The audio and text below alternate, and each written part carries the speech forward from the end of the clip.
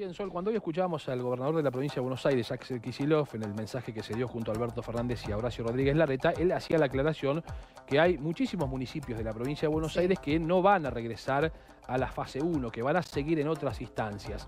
Pero vamos a conversar con Sebastián Abelia, que es el intendente de Campana, porque Campana, que es un distrito que está, diríamos, en el límite con el urbano bonaerense, tiene una situación particular con respecto a la fase en la cual va a continuar esa comuna. ¿Lo saludamos, el intendente? Por supuesto. Hola, buenas noches. ¿Qué tal? Buenas noches. ¿Cómo Muy bien, acá comentando el caso especial de Campana, quien queda en fase 3. Sí, la verdad que es es una, alegría, es un trabajo en conjunto con toda la comunidad. Realmente la cuarentena nos sirvió para preparar el servicio sanitario local, que es municipal. Hemos agrandado, gracias al trabajo de la comunidad y de empresas privadas, eh, las camas con respirador. Estábamos en 4 barra 5 camas al principio de, de, la cuarentena y estamos cerca de 30. Hemos podido hacer convenios y arreglos con distintos hoteles y y comunidades eclesiásticas para que nos den sus lugares para hacer eh, lugares de aislamiento.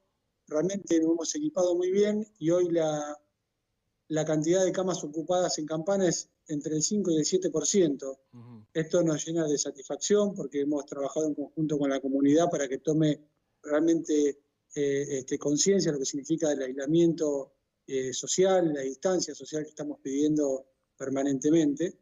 Y también, déjame destacar que somos un municipio que hemos pasado de tener más personas contagiadas y dadas de alta que personas que están transitando la, eh, el contagio activo. O sea, tenemos hoy 80 personas recuperadas y tenemos un promedio de 42, 43 casos activos.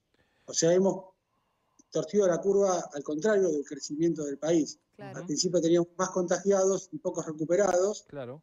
Y con el pasar de, de, los días o de los meses, hoy tenemos más recuperados que contagiados. Eh, yo, hacía, hincapié en el dato de la ubicación geográfica de Campana, porque eh, Campana está muy cerca de lo que hoy podríamos denominar el conurbano bonaerense. Es más, en términos de la distribución política de la provincia de Buenos Aires, Campana forma parte de la primera sección electoral, que es la misma en donde, por ejemplo, están distritos donde hoy tienen muchísimos casos de coronavirus. ¿Qué fue lo distintivo, intendente? Porque desde el punto de vista geográfico, reitero, ustedes están muy cerca del Gran Buenos Aires, que hoy es la zona más complicada de la Argentina por coronavirus.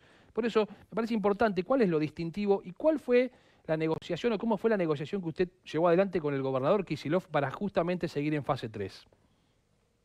Bueno, tiene que ver los datos que te dije, ¿no? O sea, haber trabajado muy fuerte con el sistema sanitario, tener realmente una capacidad sanitaria muy importante en la ciudad para las 110.000 habitantes que somos. La verdad que estamos muy bien en el número de camas con respiradores y camas de aislamiento y obviamente mostrar la curva que hay más recuperados en esta etapa, digamos, de, la cuarentena que contagiados. Esto habla que hay realmente este, una muy buena adaptación de, los vecinos de la ciudad con respecto, con respecto a, seguir en fase 3 y trabajando y volviendo a, la normalidad, este, respetando la distancia social, que es tan importante que entendamos todos cómo debemos continuar, más allá que cuando termine la cuarentena, definitivamente eh, este virus va a continuar y obviamente que tenemos que haber aprendido estos hábitos para poder transitar hasta que el virus deje de ser letal.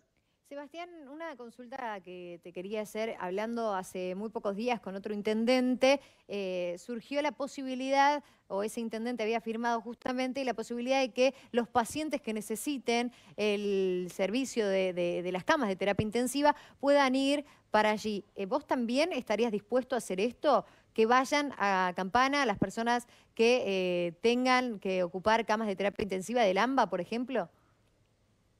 Sí, por supuesto. A ver, si, el sistema sanitario de Campana lo permite y no, y no hay vecinos de Campana, obviamente que se queden sin, su cama este, asegurada, obviamente que las camas están para, para colaborar. Yo, déjame destacar que lamentablemente en Campana les traigo un incendio en donde este, dos menores de edad se incendiaron, se, tuvieron quemaduras importantes en su cuerpo y tanto el gobierno de la ciudad como el gobierno provincial nos dieron sus helicópteros para poder trasladar a estos, a estos menores este, con quemaduras muy graves a, lugares, digamos, con más eh, tecnología para poder atenderlos. Y la verdad que esto hay que devolverlo también trabajando en conjunto, así que me parece que este, así como a Campana lo ayudan cuando necesita, y sin colores políticos, porque necesitábamos dos helicópteros y uno lo brindó la provincia de Buenos Aires y otro lo brindó la ciudad de Buenos Aires, así que esto creo que se devuelve obviamente siendo colaborativo y poniendo Campana a disposición de todos los eh, y, marcábamos también más temprano, intendente, eh, cuando el gobernador hoy daba las cifras de las camas de terapia intensiva que se habían logrado aumentar en la provincia de Buenos Aires,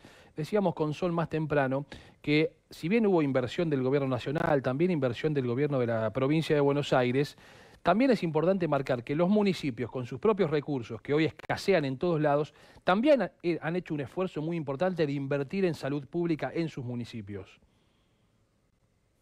Yo siempre digo que el sistema sanitario de la provincia de Buenos Aires en gran medida lo sostienen los intendentes de todas las Nosotros particularmente tenemos nuestro hospital y 24 centros de salud periféricos. Esto es algo que la ciudad tiene desde hace muchos, muchos años, este sistema de salud, y obviamente que esto nos ha llevado a invertir, obviamente para, prepararnos a través de, de esta cuarentena y destacar la ayuda de empresas privadas que han colaborado y se han puesto al hombro este, con el municipio, con los vecinos, eh, darle más eh, tecnología, más respiradores al hospital. Este, pero debo destacar que todos los intendentes en general hacemos un gran, pero gran, gran esfuerzo todos los días del año en mejorar la salud pública, porque la verdad que la provincia es muy grande y creo que tiene ochenta y pico de hospitales en la provincia y somos 135 municipios.